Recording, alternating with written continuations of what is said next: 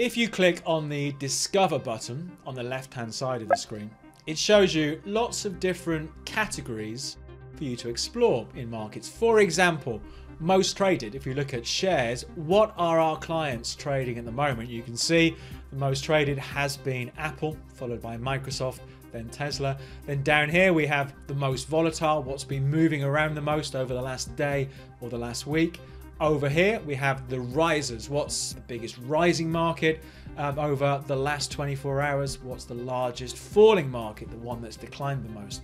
Then we have on the right hand side our news, so news affecting all sorts of global economic events. Take a look in here and see if you can spot any nuggets that could help your own trading.